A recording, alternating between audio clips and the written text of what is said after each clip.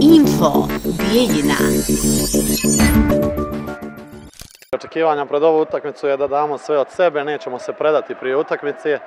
Nadam se također da ekipa spremno ulazi u taj meč iz razloga što sigurno nemamo neki pritisak pobjede i to, to je možda i naša prednost u ovoj utakmici dok igrači Zvijezde vjerovatno moraju proći zato što igraju protiv bosansko-hercegovačke ekipe. A ja sam igrajući u Srbiji vidio da oni malo podcjenjuju našu odbojku i mislim da je to naša šansa da ih pobjedimo u Bijeljini. Mislim da svako živi za evropske utakmice, posebno kad u Evropi igrate protiv Crvene zvijezde. Ja sam veliki navijač zvijezde, ali ovaj put ću dati sve od sebe da zvijezda izgubi.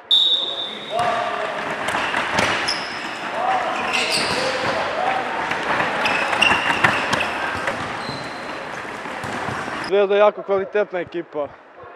Ovaj, imaju taj individualni kvalitet, tako da verovatno su kvalitetniji od nas dosta, ali verujem da možemo napravimo neko čudo i da, da ih pobedimo.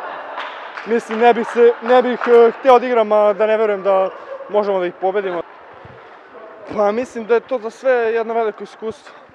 I mislim da svako treba da ima tu neku želju da u svojoj karijeri odigra bar jednu, dve utakmice u Evropi, tako da meni je to ono velika želja i veliki san, tako da hvala Bogu što mogu da, da igram tako velike utakmice. Ko je najjači?